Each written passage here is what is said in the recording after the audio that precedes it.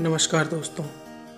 आज मैं आप लोगों के लिए भगवान श्री कृष्ण से संबंधित एक बहुत ही अच्छा सुंदर वीडियो लेकर आया हूँ, जिसमें मैं आप लोगों को भगवान के अनेकों नाम उनके पीछे का सार बताने वाला हूँ। ध्यान से सुनिएगा। तो भगवान के विविध कार्यों के अनुसार उनके बहुत से नाम पड़े हैं। अगर हम लोग बात करते हैं तो भगवान का एक नाम मधुसूदन है, क्योंकि उन्होंने मधु नाम के एक असुर का वध किया था।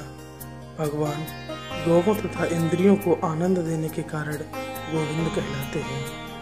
भगवान श्री कृष्ण वसुदेव के पुत्र होने के कारण वासुदेव हैं तथा देवकी को माता के रूप में स्वीकार करने के कारण इनका नाम देवकी नंदन है।